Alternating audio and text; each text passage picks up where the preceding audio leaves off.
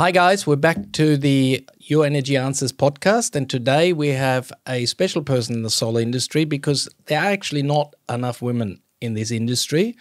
And Bobbi McKibbin certainly knows about that. And she's from Solar Integrity. Hi, Bobbi. Welcome. Morning, Marcus. How are you? Good. I'm fine.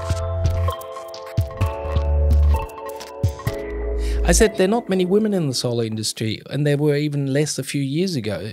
What's the reason? Yeah, that's right. Well, it's trade orientated and it's an electrical trade, and predominantly that's been male orientated. So um, we only have under 2% of accredited solar installers in Australia are female. Right. So we're working really hard to change that. Um, and that's one of the reasons, to a degree, why AWISE, Australian Women in Solar Energy, was born in 2020, was to try and bring the women that are already working within the industry, regardless of their role, um, but bring us all together so we can create a nice little network and support one another and create opportunities and share opportunities and learnings and all that sort of stuff.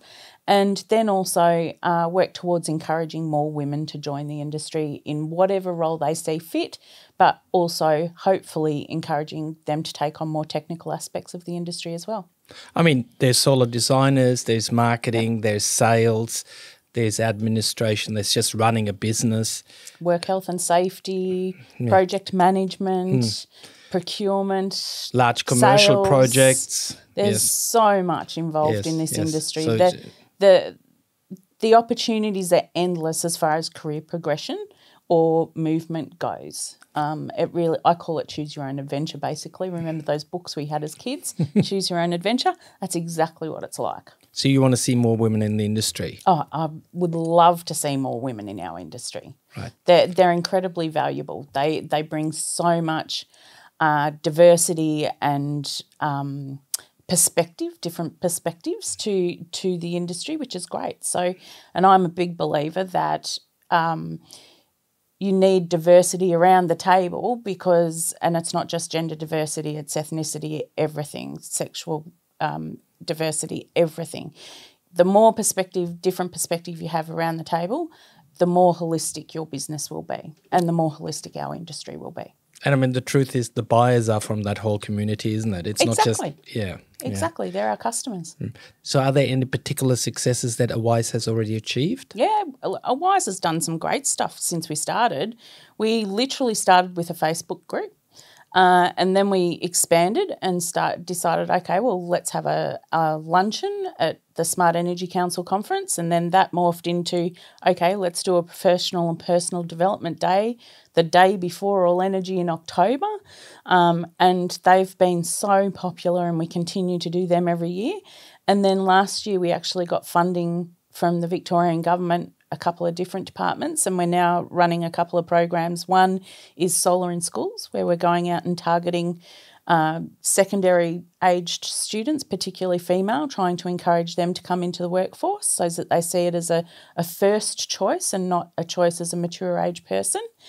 And then the other one is called Solar Sisters, which is a mentoring program for people that are already working in the solar industry.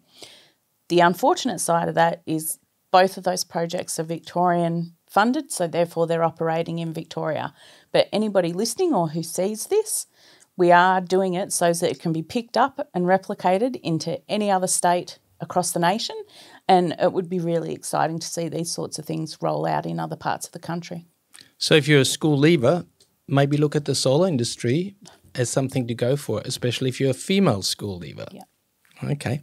Now, tell me a little bit about solar integrity. You're in Albury Wodonga, so you kind of got to know all the rules about New South Wales and all the rules about Victoria, and they don't always match. So, tell me a little bit about the company. So, Solar Integrity started in 2017, and that was as a result of a project out in Yackandandah, which is my hometown. And um, we helped them deliver 120 solar systems, and then there were about 14 solar and battery systems back then. So, um, and that was as it was sort of all a little bit new, bringing in the battery systems, and that was with a, a partner called Mondo Power and Totally Renewable Yackandandah. And then we've just grown from that. So it started out with Brett and I working out of our study, as most solar companies start.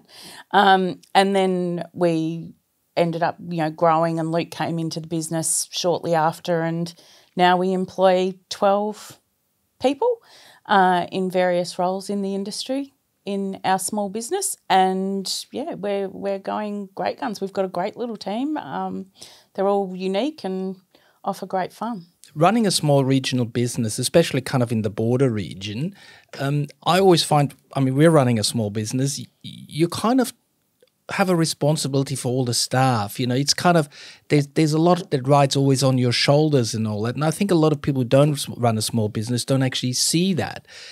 What is it like running a small solar company in the middle of the solar coaster? Yeah, it's interesting because on one side, Brett, Luke, and I are all equal partners in the business. Um, and we love our industry and we love what we do. And at the same time, you have to be able to juggle all the HR stuff, all the human resources stuff. So that's, you know, the different personalities that we have within the company, their different learning styles or their different wishes about what they want to do in the industry as they progress through their apprenticeships and everything. Um, but then you know if if if any of them run into trouble we also have to be there to support them and that's outside of work as well mm, mm. our workers know that our phones are on day or night for them. So if something happens they can always ring us and we'll always be there to support them.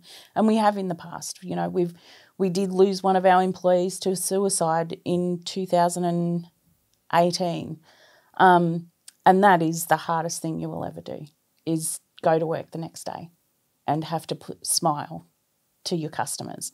So we're incredibly passionate um, with our staff and we desperately want them to know that we are there for them at all times. So we are a family. You spend, you know, eight to 10 hours a day at work with these people every day. That's more than what, more time than what you spend with your family. So, you know, it, it is really important to make sure that we all get along and, you know, have that fun side as well. And but that nurturing side is is really important. So if you actually pick Solar Integrity to install your solar, you don't just get a solar slap bang a company. You actually get a local business that cares for the local community. Is that right? Yeah, and so many of our customers have become friends.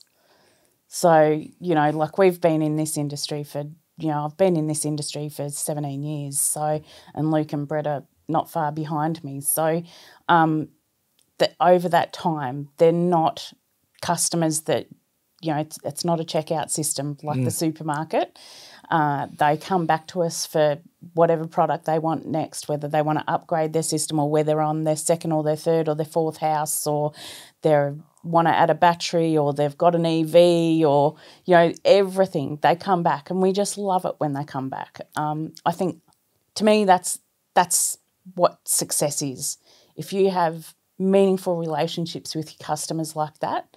Um, and then, you know, you see them down the street and you'll have a coffee with them or something. That's success. Hmm. And look, solar has also changed a lot, isn't it? In the old days, there was a one and a half kilowatt system, six panels, you put it on, you got a cheap electricity bill, and you forgot about it. But now, with climate change becoming a bigger, bigger issue, we're now actually looking at solar really on the start of the journey because then you add many other things to it. So, can you yeah. explain that to me? Because the company you choose now to go with solar is the one that's possibly with you for what? How long? 10 year journey? Yeah, that's right. Um, our houses are designed and built to last 50 years or, or more, depending. Mm-hmm. mm-hmm. Um, so, there's so much as technology changes, as you mentioned. Solar is the first step in that energy efficiency, um, heating and cooling upgrades, all of those sorts of things, they come along the pathway as well, working towards greater efficiency and and cheaper um, running costs effectively for your whole house. So once you've done your solar, then you can do your energy efficiency as well at the same time, or you can do in reverse up to whoever the homeowner is. But then you might look at adding a battery in, and with that comes energy security as well. Like we've had numerous blackouts around our region, pretty lengthy ones too, recently. So energy security is starting to really become a hot topic. Mm. But now we've got EVs coming into the mix as well. demand management. So we're starting to talk to customers about when to use their power and how and how they know when the right time is and all that sort of stuff as well. So the conversations are are long and not usually just one. There's right. always multiple conversations with our customers along the way. And then our customers also know that once the solar is installed, we don't just disappear. Uh, we always tell them that they can come back if they've got any questions, particularly their first bill. That can often lead a, a couple of questions for them. Understanding how the solar appears on their mm. electricity bill is mm. really important, and what doesn't appear on their electricity bill because the solar they've used doesn't show up mm. on their mm. electricity bill. So yeah, talking them through all of that is is really important. So it's not just a one conversation sale. So therefore, it's quite important who you pick as the company initially, because I'm sure you come to a solar system sometimes that was slap banged on. Now somebody wants a battery, and you've got to look at it, and maybe you've got to fix the solar first. Is that what happens? Unfortunately, yes. Um, we've we've been to we've had customers ring up and inquire that have had three different installers at their house for different things, and it's it's a jigsaw puzzle that doesn't quite fit that last piece. I think it's called know? a schmozzle. yeah, that's it. um, so it just gets harder the more people that are involved. So if you've got a good company at the start and you can, there's a possibility you can stick with them for the rest of the journey. It's just like you know, set and forget. Mm, it just mm. clicks in. Everything is much easier because I know for us, when we're doing our site inspections, we're already thinking ahead. We're already thinking about where the battery may possibly go in the in the future as well. But we're also having those conversations with the customer mm. at that very first thing as well. So they start to think about it. And then we get to understand what their plans are for their house, how long they're going to be in the house. Um, is it their forever house or are they going Just, to move out in mm. you know three to five years or something like that? So, yeah, so we start having those conversations to get them thinking ahead. Um, but it, it is easy. If you've got the one company to work through the whole journey, it is much easier. I mean, um, I bought a house and uh, we wanted to add plumbing to it, and nobody had any idea where the pipes were running. So mm. that was really like knocking on the wall and big headaches. If the original plumber would have been somehow involved or we could have found him, would have made our life so much easier. Yeah.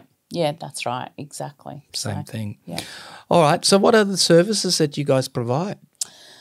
Yeah, so we we're electrical contractors, so we can do anything electrical. Um, but predominantly, obviously, we we chose to specialise in solar. So solar is our first and foremost, but along that now is solar and battery Hot water is something else that we do. So we offer the Reclaim heat pump and the Apricus solar hot water systems because when you're talking energy efficiency, they actually marry mm. quite well together.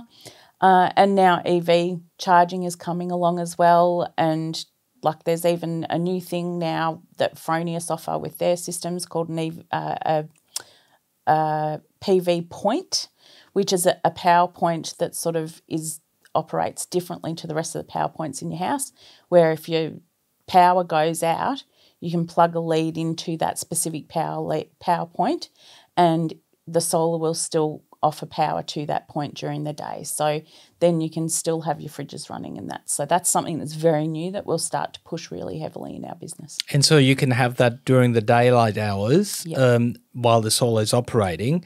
But of course, at night, if you do want that extra support, you would need a battery. Yes, but the PV point doesn't work if with the battery you don't need it. Right. Because in the event of a power outage, mm. your battery would do that yes, anyway. Yes, yes. But so, I mean, yeah. you can have the PV point just for solar yes. without a battery. Yes. Interesting. Yeah. Okay.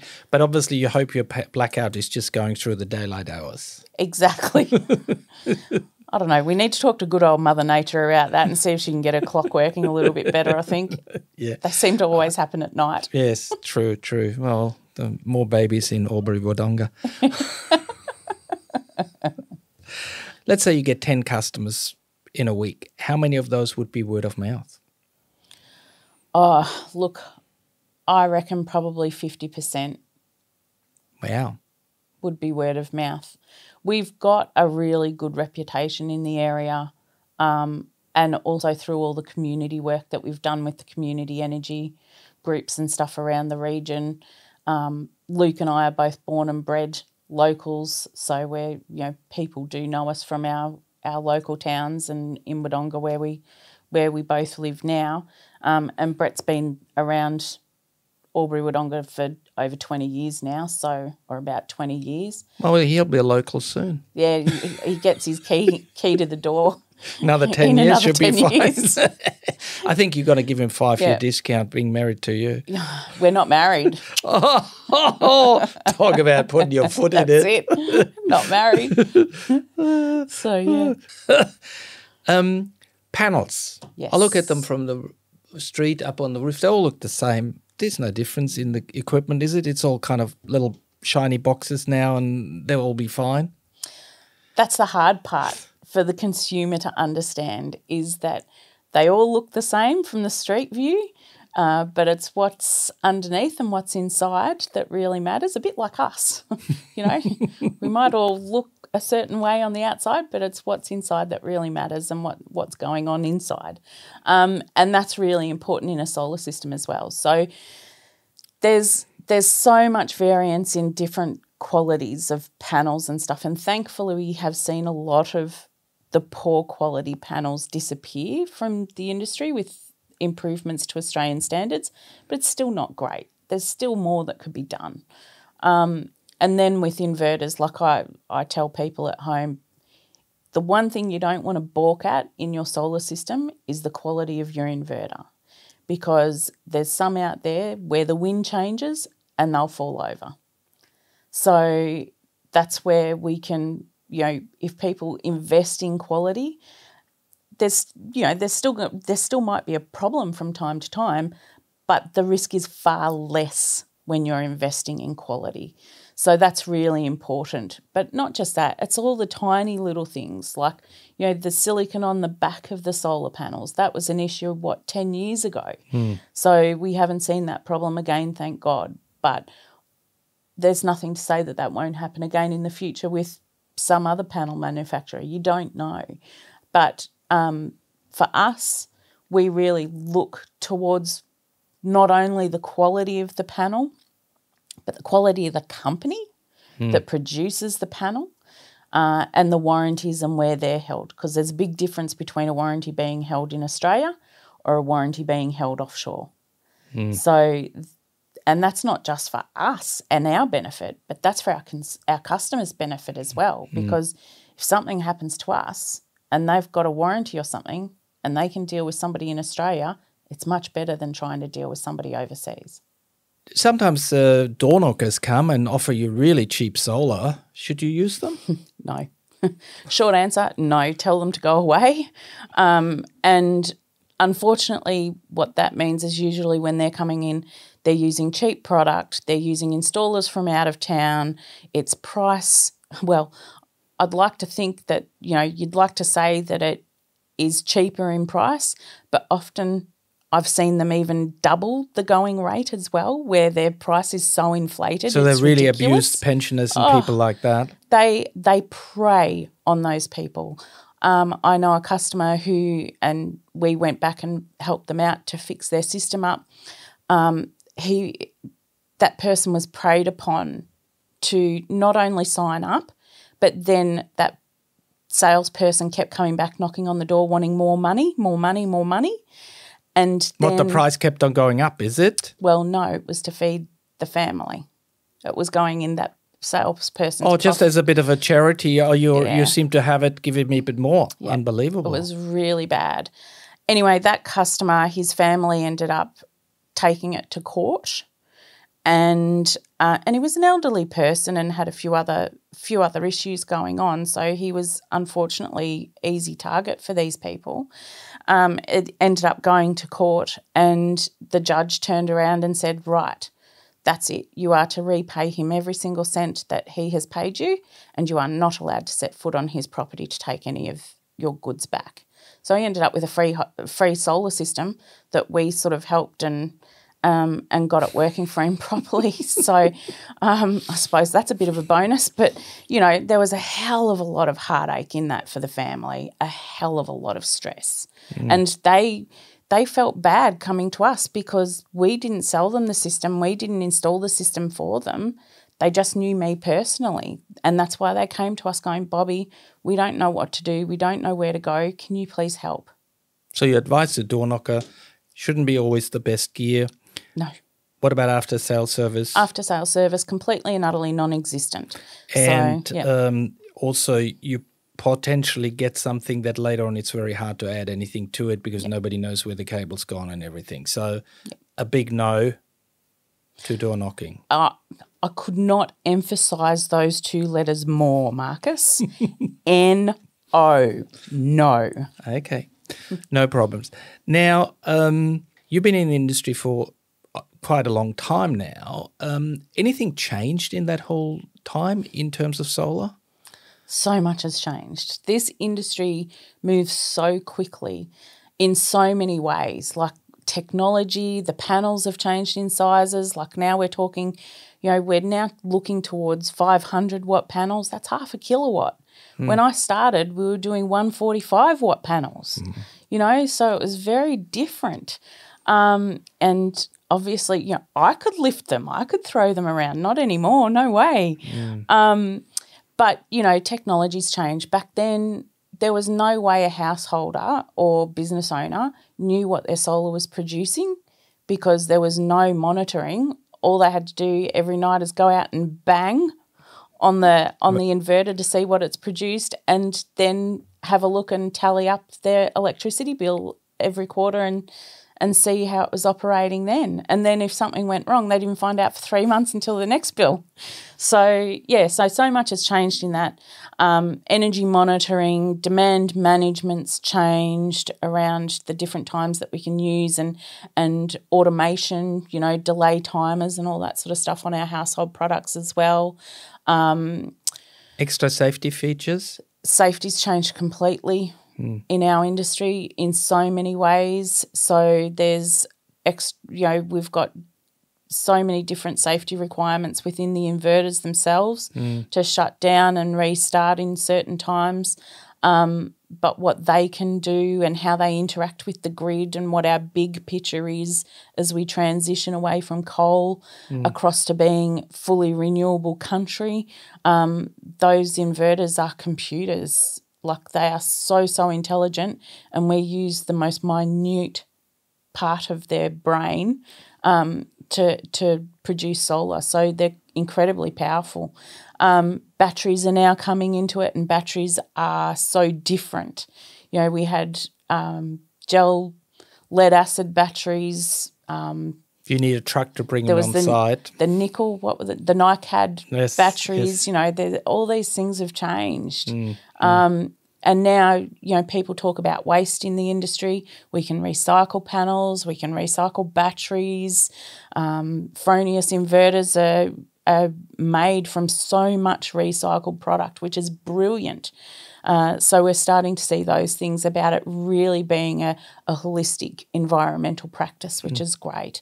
Um, but even, you know, even within small business, things have changed. Safety requirements have changed for installers um, the the gear that we have around safety has changed. Like when once upon a time there was no harnesses, no edge protection or anything like that, and now in Victoria that's daily response, you know, daily requirement, absolute minimum, which mm. is great. Um, and it should have always been, but it was never enforced. Whereas now um, everybody knows better, and less, and less, and that makes us do better. Less cowboys in the industry, then less cowboys in Victoria. They all moved all moved to New South Wales and Queensland. Sorry, guys, but that's where they went. But because the regulations are not as stringent, is it? That's exactly right. So now Victoria Victoria really is gold class, and we need to replicate that. The other states need to move towards that, mm. and then the industry. It would be a dream of mine to see the whole country unified on those sorts of things. Um, independent electrical inspectors, that mm. sort of thing on every system is so important because what we see on social media as crap solar, uh, most very rarely is that in Victoria now. Mm. That's mainly, unfortunately, in, in New South Wales and Queensland. So you're working in the border region. You must see actually the quality of installs quite different in in New South Wales versus Vic. Is that the case? Well, the beauty of it a little bit is that it doesn't sort of encroach too much on New South Wales because some of those companies, they're like, oh, we won't go that far south because then you're heading to Victoria. You can't go past that border anyway. A bit like Mexico, um, has the What you're saying saying's always been. You're saying there's some New South Wales companies in your region who go, oh, we want install in Victoria, too many rules, we can't break the rules uh, easily because they're inspectors, and for that reasons we just stick to the, to New South Wales. Is that what's happening? particularly the fly-by-nighters. They won't come past Wagga, really, because it's just too close to the border. I think we've electrified that border somehow. um, yeah, so they won't. They it's not worth their So- their travel, so they just stick north of Wagga, and and that's how they operate. So, and it's funny. I went to Canberra uh, a couple of years ago, and I wasn't getting. I opened up my social media, and all of a sudden, I started getting all these ads for cheap solar and all this stuff, and I'm like, why am I getting this crap? What's mm. going on? Then I realised because I was so far away from Albury Wodonga and from from Victoria, where I wasn't seeing those ads, and I mm. just went, wow! Like now I know why people complain so much of what they get in their in their social media feeds. Because basically in Victoria you have now a very stringent regime to double check the systems, mm. and the cheap companies just can't fulfill those rules. They can, but they can't participate in the soul of Victoria. They can't do it at the price point they're charging. You, No. you you have to cut corners. That's yes. The the unfortunately, oh, yeah, the fly by nighters cut corners because that's how they can maintain their cheap prices. Mm, mm. They're they're based on volume and speed. They don't. There's no care factor there around safety or quality or positive customer engagement or anything like that. They don't care. They just want to get that job done, get out and get paid as quick as they can, never to be seen again. And what then means is that the inverter gets slapped anywhere, so maybe on a western wall, which means the thing is going to last only half the time that it could have on a southern wall where you'd run the cabling a bit longer. Those are the differences where the customer misses out. Yeah, that's right. Mm. And and you know, cheaper product in the in the balance of system. Mm-hmm. So you sell particular brands, uh, REC, Fronius. Tell us a little bit why you've chosen those particular companies. Yeah. Fronius has been in this industry a very long time. They're as old as me in my lifetime. So, um, you know, they've been around a long time. They know what they're doing. They, when I first started in the industry, they were the number one inverter. And then they seemed to disappear for a while, and SMA came up and took over. And then all of a sudden, Fronius came back to the market and they came back with a vengeance. They had put so much effort and um, and investment into research and development and bringing out these amazing new products. They just blitzed it. So, but they're a quality made product. They're a long standing company. They are there for the right reasons. They look at everything from an environmental perspective as well, which is really important in this industry that often gets forgotten. And the service that we get, uh, if we ever need it, is is always there, which is fantastic. That's really important to us and to our installers. Means less time on site. Those sorts of things is really important. But it also means, of course, less time the system is off for the customer. That's the thing. Yeah, exactly. So if you've got that support there, then it means that the customer's happy instead of having to wait, you know, three weeks or a month or something for product. I've heard It four months gets- in some instances for a replacement inverter to come through. And all that time, the company actually didn't get a replacement inverter. Uh, the the in all that time, the customer didn't get a replacement inverter, so they lost power for four months because they bought a cheap inverter and the company's service was crap. Yeah. Hasn't happened with Fronius. No, no, not like that. We also you know, sometimes we might end up with a second-hand inverter or something that's Mm. out the back, and we'll go and swap that over for the customer, Mm. so that they don't don't have downtime. If we know it's going to be a longer wait than what we would accept, then yeah, that's what we'll do. We'll look at other ways around that we can try and get that customer up and running Mm. as quickly as possible. Because to the customer, that that's lost money. Hmm. That's lo- that's a, a backward step in their investment. So it's really important to get them up and running as quickly as we can. Now, I understand the REC panel are a little bit more efficient than some other panels. And obviously, now roof space becomes quite important because people want bigger and bigger systems. Is that one of the reasons you picked that particular panel? There were multiple reasons why we chose the REC panel. Um, one was it's made in Singapore, but also they could. Um, modern slavery was something that really came out a few years ago that we really had to be aware of and conscious of. And they can track everything right back to the point of sourcing the raw product. And that's really important for us if we're doing tenders or anything like that, government work, big project work. It gives those companies peace of mind knowing that there's no slavery involved in the product that Is that an issue in purchased. solar sometimes? Yeah, yeah, it has. And batteries has actually been the biggest one, but that's been um, abolished now, I believe, as well. So, um, particularly as lithium's become more available and stuff again, and Australia's very rich with lithium.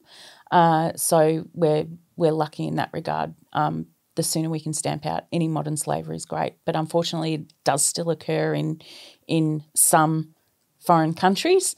Um, and that's where it's really important as a company to do your due diligence and look into those sorts of things. So Who's that the raw them. materials that go into it are not mined by kids and that kind of stuff. Is that what we're talking about? Exactly. Because most people think, what are you talking about, slaves? Mm. Where they're still slaves.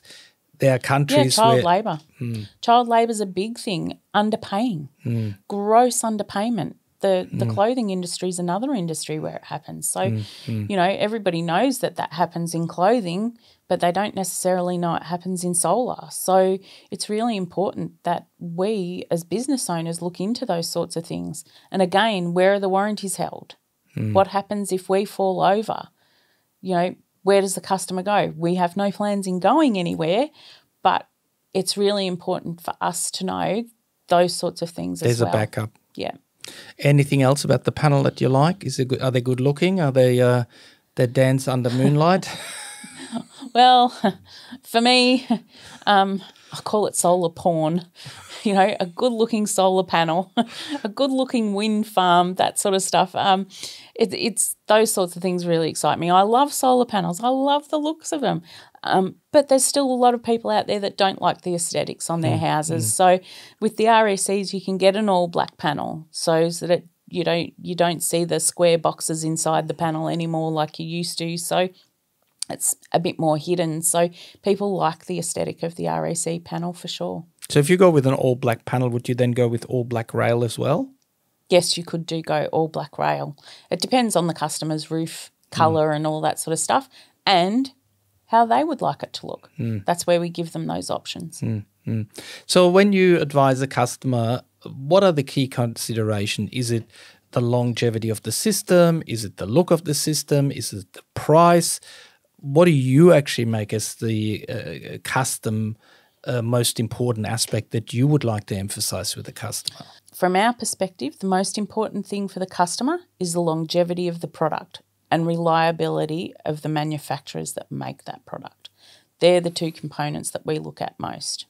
Um, and then, because then that makes our job easier as well. We don't want to be chasing warranties, warranty work, or anything like that.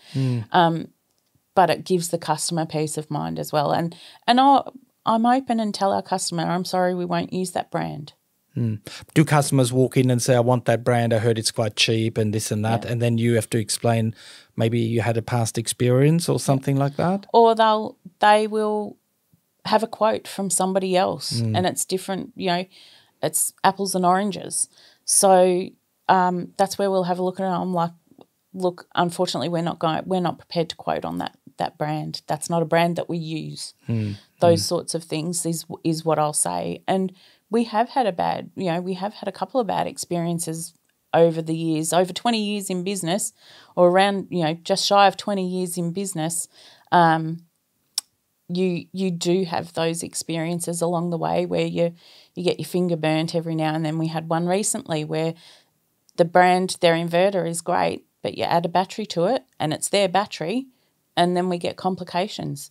And it's software updates all the time, and not just software updates that they can do remotely, software updates where our installers have had to go out there. And then the manufacturer doesn't pay us anything for that.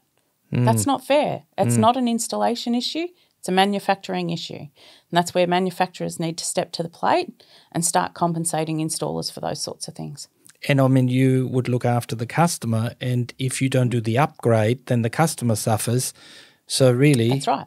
We're not charging the customer for us to go out there mm. and do the software upgrade on an inverter that has a five year or a 10 year warranty on it. Mm. And it's not, it's not the customer's fault. It's not the installer's fault. It's not our fault. It's a manufacturing issue. And we're not being compensated for that. So that's it. We said, and there's the line in the sand. We're not using that product anymore. So I would say if I summarize the company philosophy up in one sentence, you're very customer centric. Absolutely. they they are. It's our customers and our staff that make our company. It's not Brett, Luke, and I. Mm. We we fall into the staff category because we work as a team. Mm. But mm. it's our customers. We're there to service our customers. Without our customers, we don't have a business. Mm. And without the staff that we have, and without the the the relationship that we have with our staff, and the shared values that we have with our staff, then we don't get that quality out there either. So we're lucky. We've got a great team. Is that just something that is more likely still to happen in regional Australia? Because in Sydney, um, staff comes and goes in companies all the time. It's is that something that you feel is more regional, or is that something that you guys have tried to nurture more for your company? That's a really hard one, Marcus, because so much has changed since COVID. Mm. We were really lucky, like, you know, COVID, um, what was it called? The Great Resignation, uh, where everybody was resigning from their jobs and all of that was sort of happening in 2021, 2022. We didn't get that until 2023. We lost you know a number of staff or a few staff in in 2023 for various reasons it wasn't that they were just you know, leaving our company to go to another solar company or anything like that. A couple left and went into air conditioning.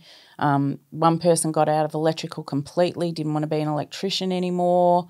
Um, you know, health reasons. There was there were various reasons why we lost our lost some of our staff last year, um, but we've rebuilt that, and I think we're lucky. You know, if you look after your staff, they do hang around, and we do try and look after our staff as best we can. Um, solar's not an easy gig. Mm. Solar solar can be really hard work. They're out in the elements all day, every day. So you know we it, it does have a time frame, I suppose, but that's where you've got the other career progressions that people can look to and stay with the industry. Stay within the industry. They can go into sales. They can go into project management, and they can go into design and engineering, all that sort of stuff. There's so many different areas they can go into if you keep your staff happy as you indicate, does it get a better outcome for the end customer too? Yes. We always ask our customers for feedback and for reviews and stuff like that, which is great. And it helps us keep a track of our quality assurance and and make sure there's nothing that we've missed or anything as well with our with our staff. So it's good to know. And my most favourite reviews, and there's not been one, there's been a few, multiple ones, is when they say it's so great to see a happy crew on site dancing and singing. and I and I know exactly who was on that job straight away as soon as I read that. But it makes me laugh and it warms my heart because to me, if our staff are doing that, then they're having fun while they're at work. It means they're enjoying something about mm. it, which is great. So, you know, it's not that, oh yeah, it was it was schmick, it was so straight, it was so this or so that. It was like the best reviews we get from customers, they were so polite. They were so um, they explained everything so well. They went through everything with me. All these sorts of things. That that's what makes us see that we're doing a good job, and that's what reflects then with the customer because that's coming, you know, the, the employees are doing a great job, the customer gets a great um, experience, and then that comes back to us via a review. So it's it's all interconnected and it's all so important in the big picture of business. I appreciate that. And makes me feel a bit gooey here now. when you when you come up on site, the boys will ask you what's your favourite song, and you can get in and dance with them. right, right. Have a little It'll- dance it'll- party. It'll, be an 80s song. um, now, after a while, solar panels, they sit there, they don't move. I mean, I don't think they need much maintenance, but occasionally some people say, oh, I can come up with a hose and clean them up for you. Can anybody do that kind of work? no, no. It's, uh, how hard can it be? I mean, I'm up on the roof. I like heights. I'll put my hose on it. I put my pressure sprayer onto it. I Oh. really give it a good whack now. Yep, that's What's right. wrong with that? Get the karcher out. Yeah, no. Um, look, I have a family member, a cousin, who would ring me and she said, Bobbi, can you talk to my husband and get him off the roof? He's up there cleaning the solar panels again. Is he over He 60? was over 70 and Well, they don't bounce that well I'm like, anymore. oh my God, get him off the roof. And she's like, he's not listening to me. So, yeah, so it's really funny. Um, no, not anybody can clean your solar panels. That's really important to say. And it's not, cleaning's one thing, giving them a hose off or giving them a light rub over with a soft bristle Hmm. brush, that's fine. But if you've got anybody, never ever pressure wash because that can uh, lead to water getting into the panels that then causes faults, can void warranties, all of these sorts of things. But the other thing is remember, it is an electrical appliance that is on your roof and on your wall. And you do not want somebody who is not qualified in looking at it touching it. So we always We're talking high voltage here, do we? well, it's low voltage, which is actually more dangerous than but- high voltage. Right, right. But I mean, I mean, it's 600 volt or something like that. So if you get that in DC, that that's a damn with water and everything. That's right. It that could kill be someone. actually, yeah, yeah, that could be deadly. Yeah, it could. So you just someone. went there to clean the panel and you ended up at your own funeral. Yeah. Shouldn't be that. It shouldn't be that detrimental. But um, when we've talked to cowboys, there's been some, we've seen some weird stuff out, in, out there on those roofs. Mm. But our concern is that if you've got a non qualified person or somebody who doesn't have solar experience, they don't know what they're working with, they don't know how to identify what faults are there or may not be, how it's safe, isn't safe, those sorts of things. Cabling issues play. and all that. Yeah. Mm-hmm. You know, once upon a time we used to use plastic cable ties to to attach the cable Mm. to the railing and all that sort of stuff. Well, that's not allowed anymore. That hasn't been allowed for about you know for a number of years now. We've got to use stainless steel, and the reason why that was is because um, the plastic degrades over time, becomes brittle and breaks, and then that leaves the cables lying on the roof. Can't have the labels the cables lying on the roof because you get leaf litter and all that sort of stuff that might blow under it and then become a, a risk factor. So And I mean, those roofs also can become 80, mm. 90 degrees hot. So you've got a plastic cable now lying on that heat year in and year out. Yeah. You tell me it wouldn't degrade because of the heat factor. So I'd say I get that. Yeah. So what do you recommend for somebody who wants maintenance on their solar? Well, it's recommended that you have your system checked over every one to two years. Mm-hmm. So, and I will always recommend that it be a solar professional, somebody who has experience with solar, understands solar. That way, they can identify any potential risks early and it can be rectified as soon as possible before, before it becomes a problem, before your system breaks down, all of that sort of stuff. So, So, so they're not just going up there to do a clean. They're actually having a look that everything is properly screwed on and there's nothing untoward and those kind of things. That's exactly what our guys do. They look over the whole system. They clean your panels, but then they check over the connections to make sure nothing's come loose. Mm-hmm. Mm-hmm. They check over the inverter, again, checking nothing's come loose. They check the readings on the inverter, make sure it's producing what they would expect that mm. size system to be producing. They do an emergency shutdown and restart on it to make sure it's shutting down and restarting within the acceptable timeframes that's set by the energy regulators, those sorts of things. So it is it is a a genuine service. It hmm. you know, you don't let your accountant service your car.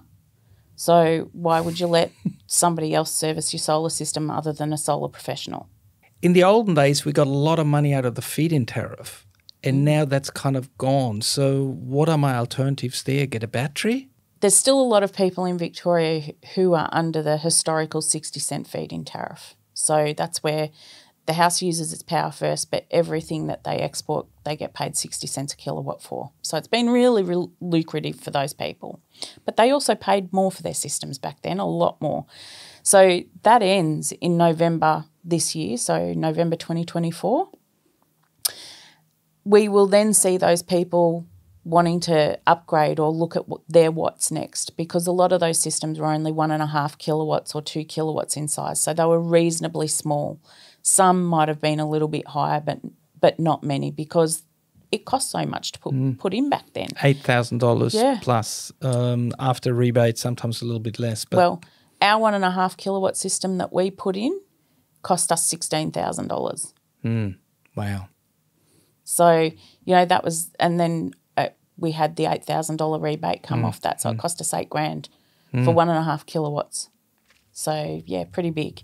Um, so those people coming off the 60 cents, they're looking for their what's next. But most of them are going to be early adopters anyway. Um, so they'll be looking not only to increase the size of their solar system, they'll also be looking for whatever else it is that they need to do to make their lives and their houses more efficient. So they'll be looking towards battery technology, they'll be looking towards the heat pumps, that can be compensated through solar. So effectively, they have free hot water. They'll be looking at you know, they may already have EVs, electric vehicles, or they'll be looking to get an electric vehicle. So they'll be wanting to factor in those sorts of things when we're sizing a new system for them mm. when they when they when it's time for them to upgrade. So for anybody who does have a smaller system and is losing their feed-in tariff in November, uh, what's your advice? Uh, wait till November, October, no. and stay in line, or no? Don't wait. Come now. um, it's it's really good opportunity now. You've got six months left of it. It's a really good opportunity to do all your research now mm. and be ready. And then when you're ready, or once you've gotten your quotes, because you know it'll take, you know, it could take three, four weeks to get your quotes and stuff in order, depending on what your system is and us designing it and everything. Um, so, yeah, it could be a three or four week time period for that. And then by the time you make your mind up, you can sit there or do your research or whatever it is that you want to do, you'll be ready to press go. The other thing is also November, December is always a very busy time for solar because it's more bright, there's more sun, people think about it more. So if you then decide to in the middle of that boom, throw your needs into it and everybody else, it's going to be a hell of a time in November. Well, the other thing that happens as well is the STC rebate will reduce slightly at the end of December. Mm. So we always do have that rush heading into Christmas. So if people are going to wait, they're going to be ending up in that little bottleneck that we that we see occur before Christmas each year. So if they get in now, pay their deposits, get on the list, then yeah, then they can go through that that then.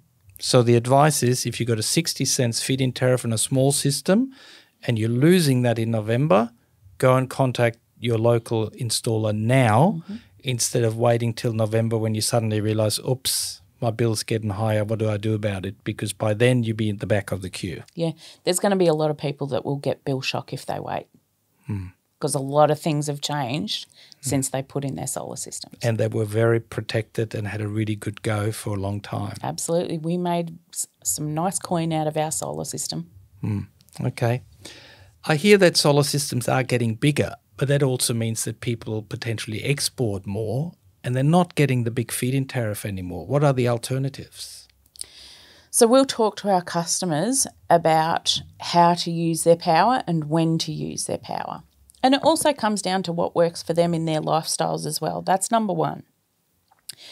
But it's also making sure that they're educated so that they can, it's called load shifting, that's an industry term. So effectively, they can look at ways that they can reduce their nighttime usage flip it over to daytime when their solar is being used, and then they will be exporting less out to the grid. And what that means, instead of being paid, you know, anywhere from four, seven, four cents a kilowatt to 15 cents a kilowatt, they're saving themselves 35 to 50, you know, 50 plus cents I've seen now a kilowatt. So there's much greater savings out of using your solar as it's being produced than sending it out to the grid. So you say your washing machine, your dishwasher, your pool, Pool pump, pump. your EV charging if possible, always Hot water, hot water, heat pump, all do that during the day. yes, but not all at once.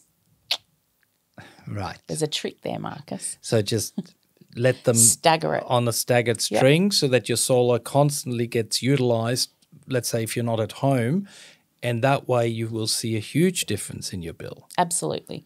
And that's what we talk to our customers about is being sure that you're staggering your usage across the solar production time. Mm. Because if they put all of those things on at once, then they're going to use all their solar. They could possibly still draw in from the grid and then they'll have what 3 or 4 hours during the afternoon where they're exporting everything out to the grid. Mm. So no, you need to stagger it across the day. So pool pump times, washing machine times, dishwashing times, EV charging times, hot water char- hot water heating times, all of those sorts of things. Stagger them across the day, and then you'll be right. And all the modern appliances now do have timers, so that can all be programmed. Yeah, much easier.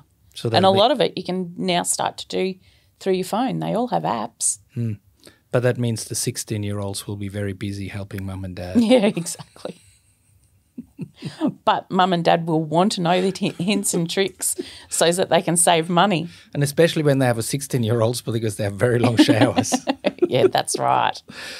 um, some people use contractors, others have in house employers to do the solar installation and the batteries. Uh, any diff? Big difference. So we have all of our electricians on staff, and that then means that we can then train them the way we want to be trained.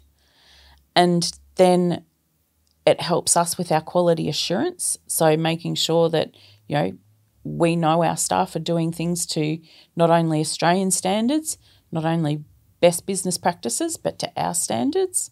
And I think that's really important to remember that Australian standards are the minimum. So we thrive to our own standards. And by having our employees directly employed, then that helps us stick to our standard. Whereas if we've got a contractor, and a lot of these other companies do use co- contractors, once they've done the job and they're they're gone, it's very hard to get them back to rectify anything. Mm. And you really do need somebody else then going around doing quality assurance checks on them to make sure that they're doing it to your standards. So you need another person to employ to do that. Whereas if you've got people in house, you can do it as all through their apprenticeship. So they learn it that way. They learn how it's done. I had a I had a installer a couple of years ago who was in he rang me in a bit of strife. He was, you know, he'd gotten caught out for where he did his apprenticeship from and he he looked at losing points on his license and everything and he was in a bit of a bad way and he said, "Bobbi, what do I do?" He said, ever since I've left there and joined the Solar Cutters group and everything, he said, I now know what I was doing was wrong, but I didn't know any different because I wasn't taught any different. Mm. Whereas now he's then realised and completely changed how he does installations. So it's really important to make sure that we're training our staff the right way, but to our own standards. And then that way it helps with warranty work. There's less issues that could go wrong. Um, we know that it's we do things a certain way, so it also helps us tell if there's been another electrician come in after us. All these little hints and tips and tricks along the way, but it's much better quality wise and customer outcome wise for an in-house installation team. And for any audience to explain, for example, you can get away with a minimum number of brackets because it's under the panel you can't see. But if you guys specify how many brackets you believe it needs to really make it a robust system, that's where somebody can cut a corner and do it differently. Yeah. Or you can look for the best access for the cabling to run through the walls so that it's visually a less impactful system yeah. but somebody else might just run it even over the gutter and run it down the wall, and then somebody has to look at these ugly conduits. Sometimes they're unavoidable, but if somebody really tries, those are the differences you're talking about? That's it. It's the one percenters that they talk about in sport. It's the same thing in work. That going doing that extra one or having that care factor and not being on the clock or being paid by the panel or you know those sorts of things um, it's a completely different story. You get a completely different outcome at the end of a job. And it's not necessarily even just at the end of the job. In 10 years it's a different outcome between the two systems. In 15 years it's a different outcome. In 20 years it's a different outcome because you might have one that's there for that whole time but the other one might have already been replaced hmm. And that's not very good for the environment either. no, that's a big thing for me is waste in our industry. We're meant to be an industry doing much better for our environment. That's why we're doing this. Hmm. Um, so we need to make sure our waste practices are right as well, because otherwise we're just adding to the problem. Hmm. So you care for the customer's house like you care for your own house. Absolutely, yeah, I do. Yeah. Maybe a little bit more even. yeah. You know what they say: a mechanic's car always breaks down.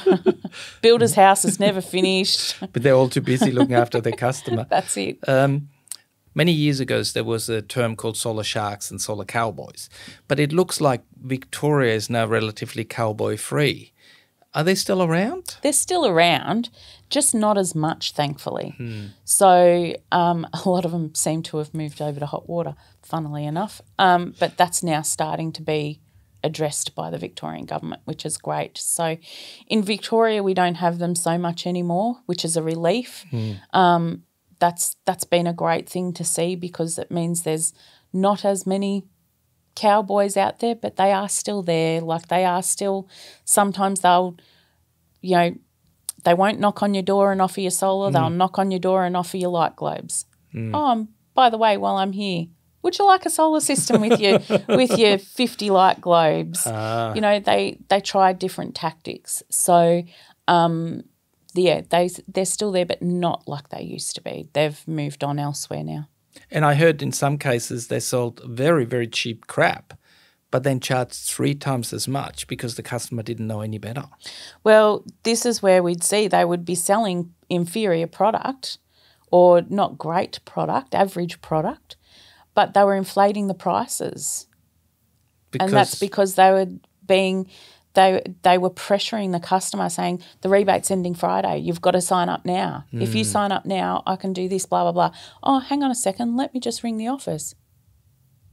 Office says they've got a vacancy. We can install it next Wednesday if you sign up now wow. you know those sorts of tactics is what they were using so um, to get rid of them is a, a great thing because and I'll, I'll always tell customers never buy anything under pressure Mm. so like if the if a rebate is changing or ending or anything like that we'll put it on our social media as soon as we know don't always trust the first person you talk to And so some of those artificial deadlines are actually not even true. Correct. Yeah, I've even had to. I was the second person with this customer. I had to pull out my phone and go to the government website, blow it up, and show them that what the end date of that rebate was, and it was not whatever they were trying to tell me that the first company had told them. So, um, because the first person they talk to is the baseline. So yeah, that can be sometimes difficult. But you know, we we we've got an established name, we've got a good reputation. Uh, our customers know that we'll look after them, and so we're pretty lucky in in that regard. Solar panels on the roof, are they like tiles? You just whack them any which way? Or there's uh, should you put uh, care into the directions? Yeah, there's a whole lot of things that come into play when we're working out where solar panels can go. Unfortunately, you get some out of towners that do. They'll just slap them up wherever and however they feel fit. Um, the easiest and the fastest way is what they look for. But for us, we look at it from a couple of different perspectives. One, we've got to ensure that we're we're installing them to Australian standards and to manufacturers' requirements, so that warranties and everything are um, are valid. But two, it's got to look good, but also production. production's really important. You want to get the most out of your system that you possibly can. So putting them sometimes on the western roof, like north used to be the primary roof that we would put them on because of the sun and all across the day and blah blah blah blah blah. Now with the lower feed-in tariffs, now west might be the better roof because you might be out go to work early in the morning, you come home in the afternoon, and that's when you crank up the air conditioner, and that's when you crank up your you know cooking Electric dinner and all that cooking, sort of stuff. So, therefore, the western roof, so it gets that later production, it might be the be- more beneficial aspect to mm. put it on. But there, we do look at various things around panel placement on a roof before we go out and install. There's a whole design done that we the customers sign off on. Our installers know what they've where everything's got to go before they get to site. Then they get to site and they obviously look at it again and then they start installing. So that way they know what to expect when they're out there. And if they get out there and something's happened and they're like, oh, that's not really the best place, then they'll ring us or Brett or whoever's sold it and talk to them and say, this is, you know, or Luke, whoever the designer is, they'll say, oh, this has changed or that's changed. Um, and then we can have a conversation with the customer and then the customer knows so that they don't come home at night and go, that's not where they were meant to go. Mm, got it. So you're looking at the customer's consumption pattern. So if they use a lot in the morning, you would put it east. East, yeah. If they're cranking the aircon up in the afternoon, west. And you might do both.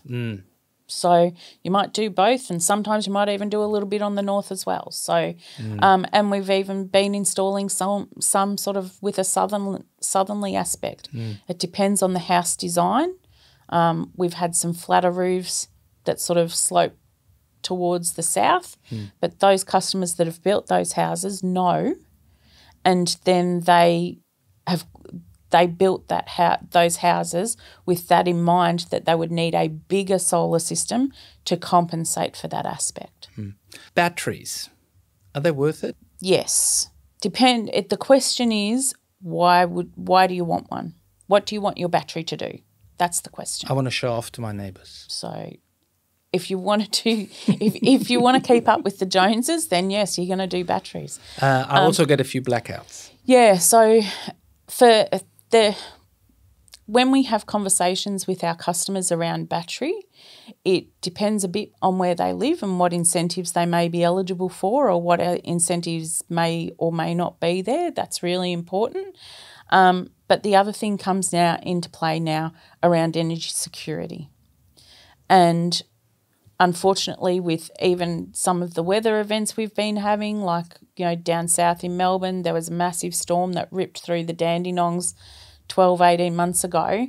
Um, and that saw them without power for weeks. People were running off home generators. The government had to go out and buy generators to supply all these people. Um, you know, we've even had the fires, all that sort of stuff that's impacted on people's power. But um, so energy security has been really big. And for us in our region, it was more an issue for those that lived out of town uh, until recently.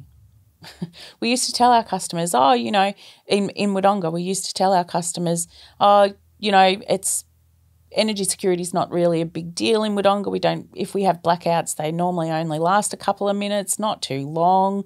Um, so you might have a different battery system that you would use there.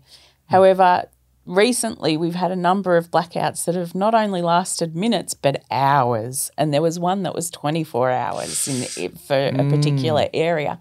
So batteries are really starting to become a conversation, regardless of where you're living now, um, so that people in those events can can have continuous power. I was on the social media whilst those blackouts were going on, and people were saying, you know, kids wouldn't go to bed because they didn't have a night light, so the kids were scared. All these little things that you don't think of unless you're in that situation. People with health issues, um, life saving equipment, all of these sorts of things come into play. Fridges, freezers. You know, one of our one of our staff said, "Bob, how ca- how long will my stuff last in the freezer?" So you know, there's all these things that in town we took for for um, for granted. Whereas out of town, I know growing up in Yackandandah, the wind would change and we'd have a blackout or a brownout. Mm. So we were used to it, but not for these long periods of time that we're seeing coming out of these weather events either. Weeks without power is very different. And some may say, well, but if a, if I've got a blackout for a prolonged period of time and I've got a battery, the battery's only going to last so long anyway. Well, then it will actually recharge the battery the next day as long as we've got sun. So that's, you know, depends on weather and stuff like that. But I mean, even if it's a little bit rainy and this and that, you will actually still generate solar. Yeah. And in those instances, you can put in a generator plug or something and mm. plug a generator in if you need to. But um, you'll get a lot further with a solar and a battery system than with just a solar system in those events, that's for sure. But you still got to be a little bit frugal. You can't start baking exactly. cakes and uh, getting the uh, jacuzzi going. Huh? Yeah. No, that's right. Spa got to go off. Those sorts of things. So that's where you become a little bit frugal with what you're using and how you're using it. Mm. And that way you can prolong the life of the battery charge. Yeah. Now, let's say I'm a customer, I'm considering solar integrity. Um, give me kind of a couple of dot points of what would you be supplying to me to give me as a customer a good outcome. Yeah. Um, the primary points for solar integrity for our customers is that we have an install, sales, and installation team. It's locally owned, it's locally operated, we live within the region, and we're here for the long time. This is our passion, this is our career path, and this is where we see we want to be for a long time. So we will always be around to help you long after the installation. That that's the big thing. Plus, um, we invest in our staff. We invest in training for our staff. Uh, we invest in their well-being, um, and yeah, so so we really want to be there for the long time and make sure that we're using quality product and everything as well. It's funny, we love our customers, but we would love it if we only ever had to go there once. if you know what I mean, you know, yeah. you don't want to keep going back for to fix things up. Mm, so mm. if you can go once, install it, install it right, perfect and then come back when they want to upgrade or they want to add a battery or they want to do hot water or they want to do an EV mm. charger, those sorts of things. You don't want to keep going back to have to fix, fix things up. Now, look, with all this positive about customer, um, on a Saturday morning, sometimes I get a bit cranky. You must get cranky customers, even so maybe it's not really fair. How do you deal with a difficult customer? Or maybe you've stuffed up. Have you had a oh. situations oh, like that? We're human we're not perfect. So, yeah, we do. From time to time, we do all make mistakes, even with our staff. It's like if you make a mistake, own it, then we can fix it. Mm. There's no worries about that. Don't that. hide it under the. No, that's right. Don't sweep it under the carpet. Mm. Um, you know, we. And apprentices, they're learning. So mistakes do happen. Um, but we we own it. And, you know, if we've got a, a customer who's upset about something, often they want to be heard. Um, and so we can hear what they've got to say, find out what the problem is, and then we can work out how we can rectify it and how we can make good. Because it's one thing to, if you make a mistake, one, you've got to own it. And then two, how can we make good? How can we do right? How can we do better? Not just by them, but by future customers as well. So everything's learning and everything's evolving. Mm. Um, but no, we, we really do listen and we really do value the feedback that we get from our customers. Going forward, looking into the future, I mean, we've been on the solar coaster. Mm. What kind of excites you? Where are we going?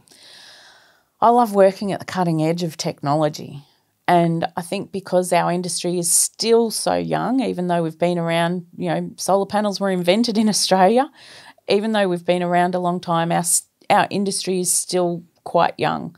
So there's so much advancement still to occur, but not just that, in the whole electrification picture, there is so much to happen. So we will start using our homes more efficiently, we will start using our cars more efficiently, where we will start using the battery in our cars to charge to power our home, um, home automation as that all comes in. It will all be one connected little web um, of of its own existence. So I think it's really interesting to see what's going to happen around automation um, and and where our what our energy looks like in the future because our current our electricity market as we've known it is dead.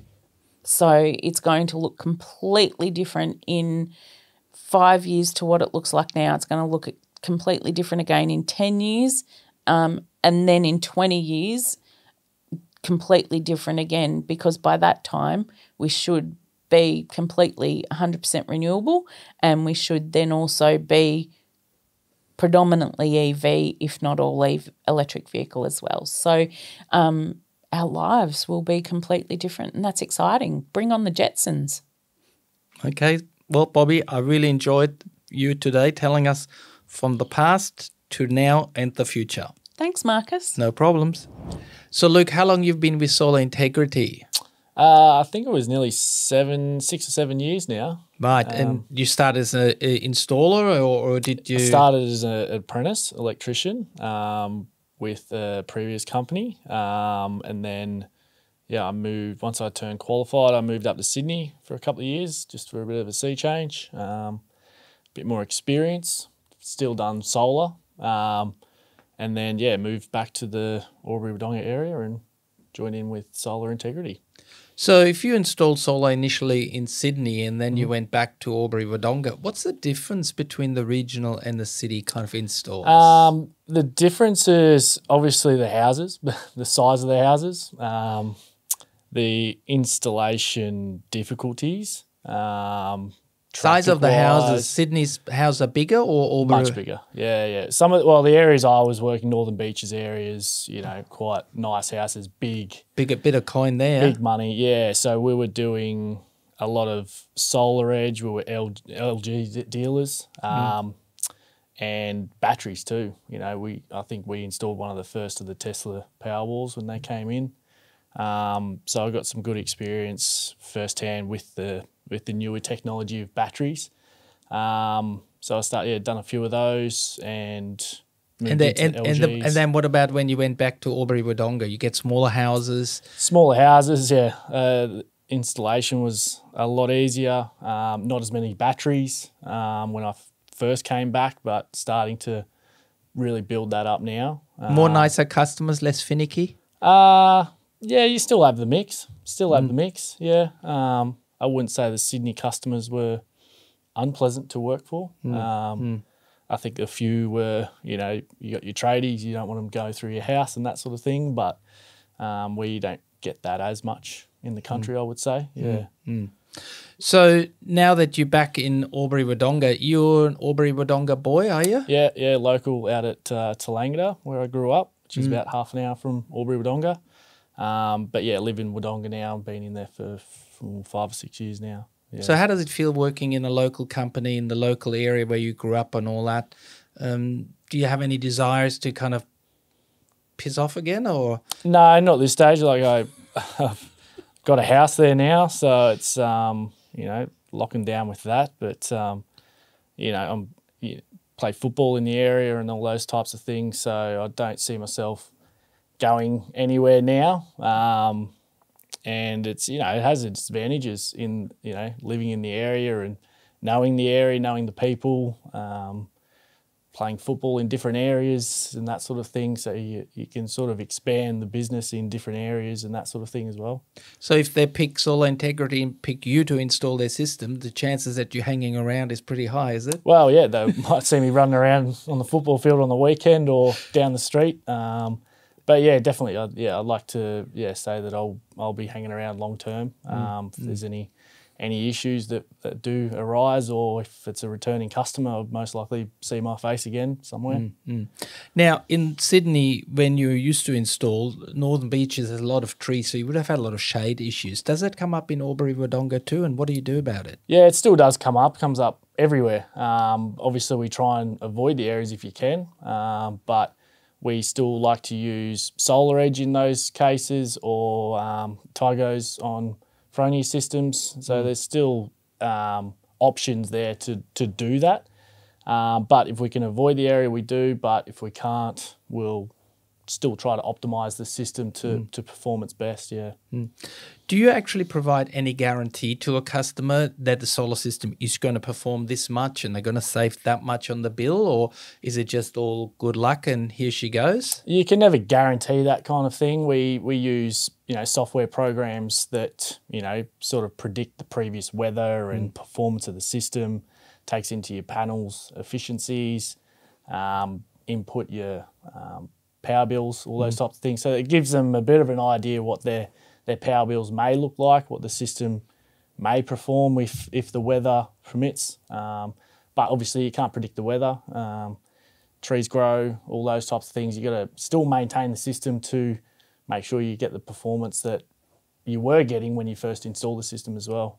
But plus, also the customer's uh, own consumption pattern can change, isn't it? They, Yeah, absolutely. Five-year-olds turn into teenagers, and suddenly the hot water needs go up. Yep. So, in your design of systems initially, is all of that taken into consideration? Uh, to a degree, yes, yeah. Um, but we try and encourage if you do put a, a decent sized system in, you can have that luxury of living a bit more comfortably, you know, running that air conditioner a little bit longer. Um, not so much trying to, obviously, savings first and foremost, but some people like to be a bit more comfortable. Um, so you have that luxury of, you know, heating the house or cooling the house for a little bit longer or those types of things as well. So try to take that into account with the customer, not just that dollar figures um, that feel good sort of thing. Right.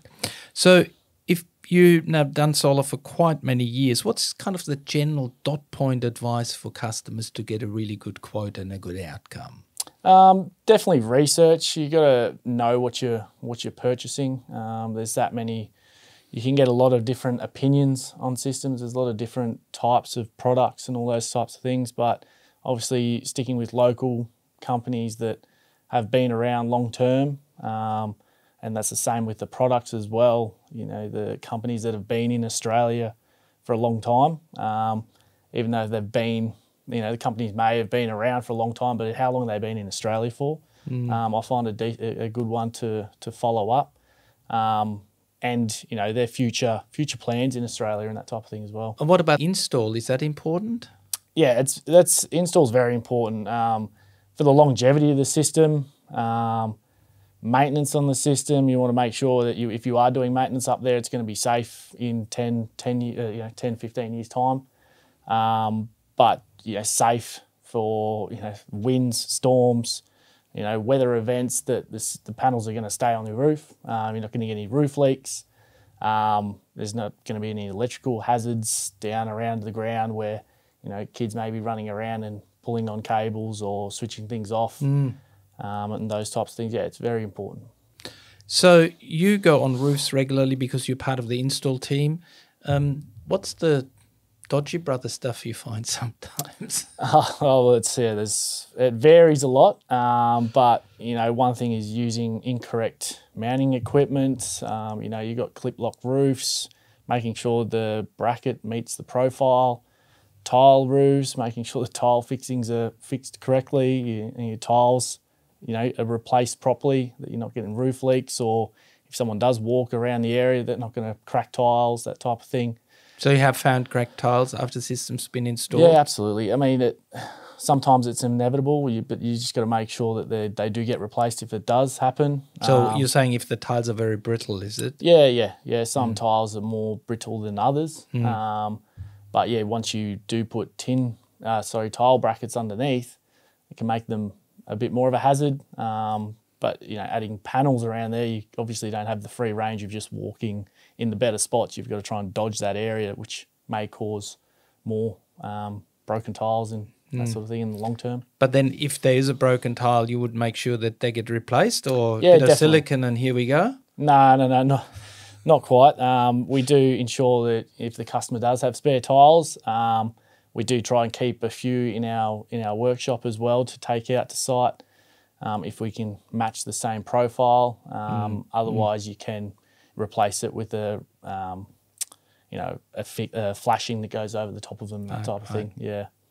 I'm not sure how often you're involved in selling solar and all that, but what would be the factors to determine what size solar system a customer needs? Um, I suppose it's what they would like to try and run during the daytime. I, I find um, if they run the air conditioning, if they've got EV charging, um, those types of things, their pools, what they what they can sort of use during the daytime, Hmm. what their future plans are. You know whether they are going to get an EV car or whether they're going to put a pool in or those types of things. Three Look kids. future, yeah, kids. Um, whether yeah, lots lots of things. Mother-in-law actually is moving in next year. yeah, well, those types of things. If if people are going to be at home to Mm. use that power, um, yeah, Got it. And EVs are coming. Everybody's talking about it. All that is that affecting the size of solar systems going forward? yeah, definitely. Um, the the EVs they store a lot of lot of energy. So if you can and have the opportunity to be able to charge them up during the daytime, you, you can do that from solar. Um, so making sure you correctly size the system, but not all EVs charge at the same rate either. So your car might only charge at three kilowatts, or your car might be able to take seven and a half, or the full, you know, full charge. So making sure your, your system can do it if it's available and do it fast enough for you to be able to use that car when you need to. Um, that yeah, it's it comes into play. Right. So bigger systems with EVs. Yeah, definitely. Yeah, yeah. If that's what their their plans are to try and charge that car quickly for them to use, or you know, draw it out over the day, then yeah, definitely bigger systems, um, more uh, electrical use in house, um, bigger appliances, bigger homes, um, all those type of things can um, play in the bigger solar systems. You know, single phase, three phase. If you if you're building a new house these days, I think if if you are connecting to the grid, um, definitely go for a three phase system so you can put more solar in, but you've got more um, power there to be able to, to run those appliances if you need to. What's the plus for a black panel? I've seen those pretty looking full black panels. Any pluses of that? Yeah, it's aesthetics, I suppose. Um, people like the the black look. Um, you can get the black rail to, you know, it, can disguise the panels on the roof sometimes. It can make them stick out a bit, but it's all up to customer preference. Yeah. Um, when it comes to the financial benefit of solar, if you'd have a customer who says, "How much is it really going to save me?" What would be your answer? Uh, it's, it can save you as much as you put into it, I suppose. If you can, like, if you can use that solar during the daytime, run your appliances when the sun's shining, it can save you quite a lot. But if you're gonna not use it to your advantage and not be at home or not turn things on and try and export it all for not very much um, and use all your power at night time, probably not going to save you as much as what it could. So it does come down to the customer and how, how they use their power. Um, you can obviously put in different devices to do it automatically for you um, if you can't manage these things. Um, but yeah, it does come down to the customer a lot. You've got obviously New South Wales and you've got Victoria customers. Are there any battery rebates already available? Yeah, there's battery rebates in, well, interest free loans for Victoria, um, not so much New South Wales. Um, so we don't see, we don't do a lot more, lot of work in New South Wales currently. Um, With batteries? Yeah, battery and solar. Um, we, most of our work's Victorian, um, just with the, the help from the government for that side of things. Yeah, but it all comes down to you know what they're what they're using it for and what they the advantages of them putting in the battery doesn't suit everyone um, financially. It doesn't suit a lot of people, um, but if they're getting regular power outages, then that could be an advantage for you. But you know, you got to think about if you are going down the line of putting in a, you know, getting an EV charger or getting an EV. Um, do you really need a battery there when you could potentially use the car and store your solar that way to, you know, take the kids to school or drive to work each day? Um, But then, if I'm possibly at work with the car during the work hours, then I could at least charge some of it in my battery. Correct, yeah. And that would be literally free fuel for my car. Yep, yep, yeah. That's it is a good point. You can do can do that. Um, you just got to educate the customer that a house battery is not on the same scale as a car battery. So trying to put that storage into a house battery is quite small compared to your car. Um, so, But I still probably can get nearly 100k out of it. yeah, yeah, you, you could quite possibly. Um, and if that's going to suit you to get to to and from work for the week, great. Um, it's yeah, it's very customer based and designing the system. That's where it's really important to to your customer needs. Um, how important is repeat business? Yeah, it's really important. I suppose if you have the if you get the trust of the the client for you, for the first system and they're willing to come back to you um, to you know put some more panels up there if they think they need so, or if they want to put a battery or EV charger in, hot water if their hot water fails, what's the new technology? Um, it's really important, and we you know we pride ourselves on being able to service them you know for multiple multiple reasons. So Solar Integrity does get repeat customers? Yeah, absolutely. Yeah, we we uh, really enjoy when a customer comes back for their, you know, for their next next purchase or their future needs, or um, if they got any questions about their monitoring or anything like that, they might pop in. Or um, that's why we we like to have a bit of a showroom there for customers to feel comfortable to come in and talk to our staff that are in the office or show them through our products that we have and the new products that are coming in and that type of thing. Yeah. Right. The inverter. Um, I just whack it on any wall. What what does it do? Uh, not quite. You know, it's it's quite a technical device, I suppose. You you need to look after it.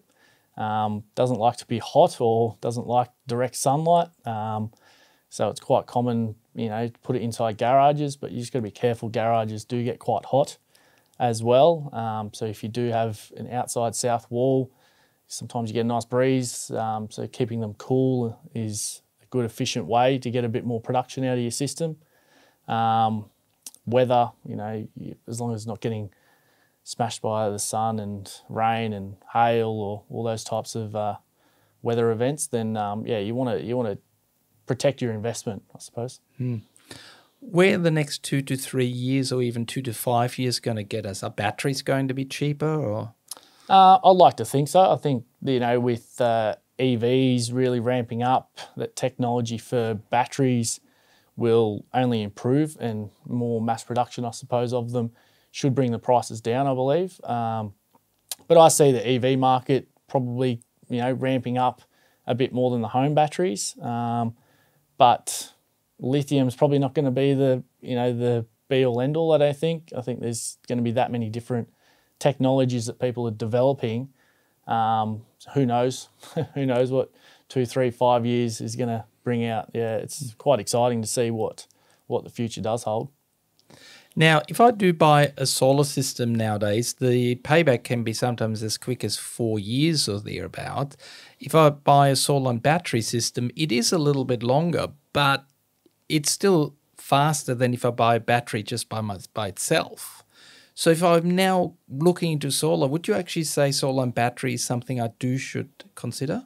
Uh, yeah, it's definitely something to look at. Uh, there's no reason why it's it's not hard for us to quickly throw a price together to add a battery onto a system. Um, But making sure the solar system is capable of taking a battery as well is really important. Um, and if it's going to be a big upgrade if you do want to put a battery on down the line. Um, but also being able to expand your existing battery. So if we do sell you a battery, how easy is it for you to expand that battery if you do wish? Um, so there's there's some systems that it is quite tricky. You've got to put a whole new pack on, or you can just add a module uh, to your battery system. So you know if that is something that you may look at down the line of increasing the system, or you don't quite have the the funds there to do the system you want right now. Maybe next year we can add a few more modules to it to really optimize the system for you. I'm a customer. I got still the 60 cents feed in tariff. I love it.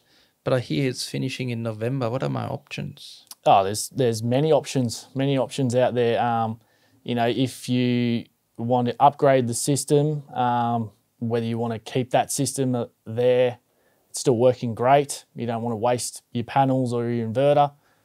Quite easily leave it there potentially and put another one on next to it if you've got the space. Um, or if you like the safety features of the newer stuff, we can remove it, re- recycle as much of it as we can, and put a whole new Butte system up there. Add a battery.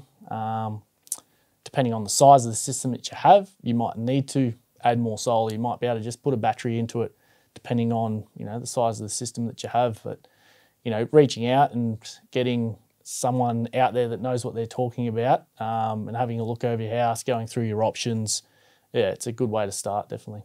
So if you lose your 60 cents feed-in tariff in November, contact Solar Integrity now. Don't wait for November because your phone will be pretty busy by then. Yeah, November's going to be a busy time, definitely. You know, November rolling into December happens quite Mm. quick. You know how quick uh, Christmas rolls up, Mm. and uh, you know a lot of companies do shut down over that time. Mm. Um, and then there's not much in not much working days in January either. So getting in early is great. Um, it gives you a bit more time to think about it as Mm. well.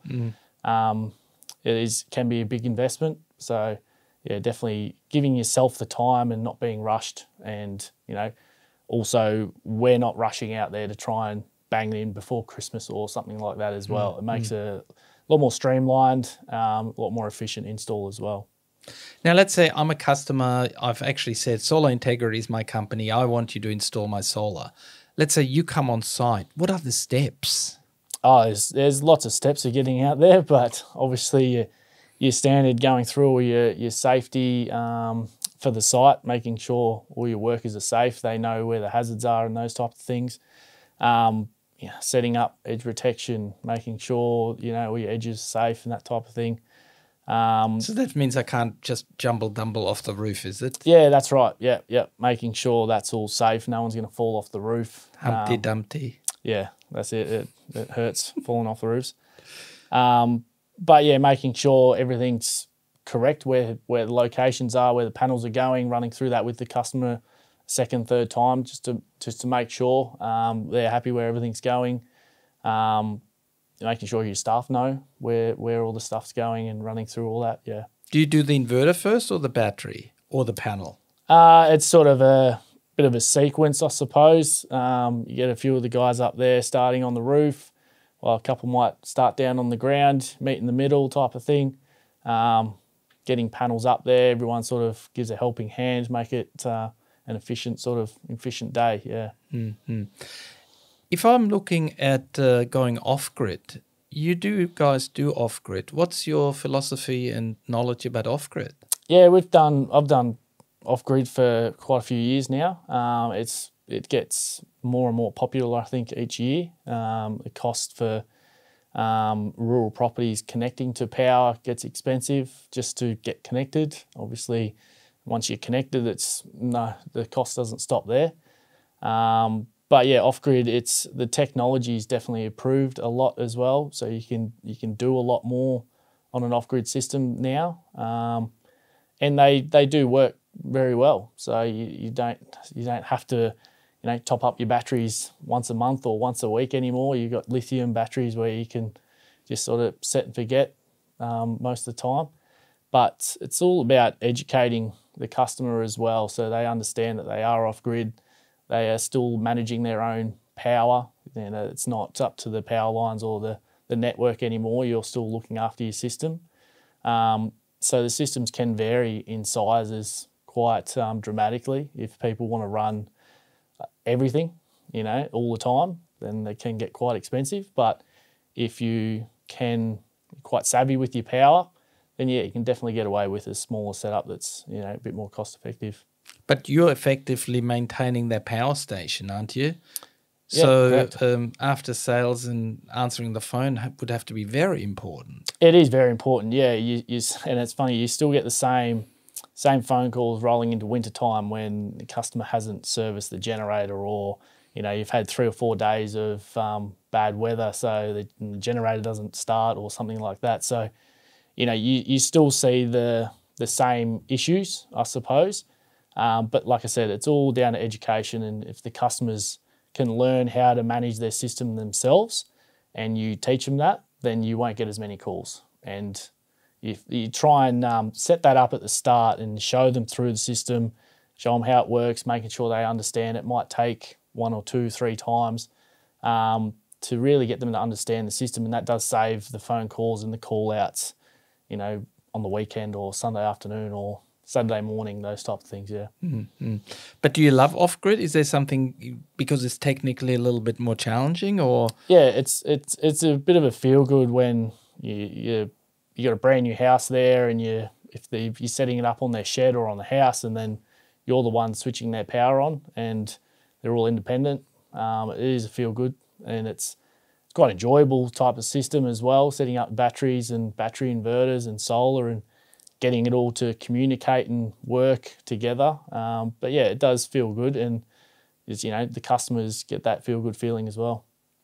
And the best thing is no more electricity bills. No, that's right. No, no, you don't have to worry about the bill coming in monthly or quarterly. Um, you you might have someone down the road that's connected and see the power go out and the lights go out, and you're up on the hill with all the lights still on. Mm.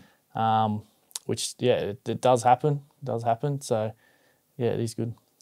Um, I heard that in Victoria now systems are installed better than they used to be in the past because of your inspections. But you must have sometimes experiences where you go to an older system and you just want to shut your eyes.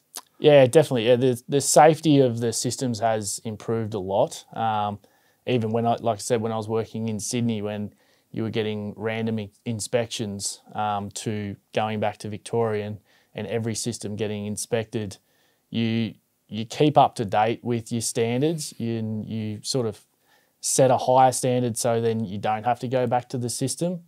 Um, so it is really important that that safety and the you're continually training and you know making sure you're up to date with all the standards. Yeah.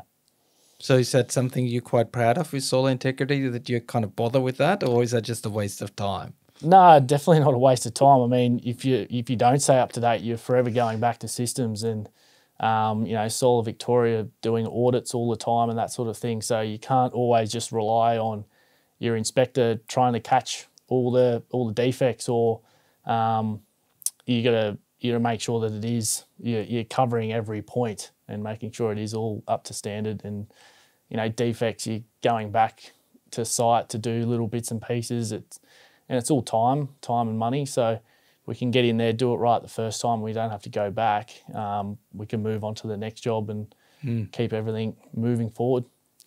You do residential and you do commercial, don't you? I mean, is it all the same? It's just commercial, like taking residential and just doing a copy, carbon copy, copy, and then it's just a bit bigger, or is there more substantial differences? Uh, no, there is there is definitely differences. Um, it's all to the needs of, I suppose, the the client and the and the building. Um, commercial can be a little bit more streamlined um, on a bigger scale, just a lot more panels and bigger inverters and.